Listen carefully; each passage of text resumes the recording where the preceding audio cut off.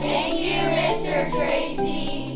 Mr. Tracy, the best principal. He's so nice and caring. Thank you for being our principal and helping us with everything that we needed. Thank you,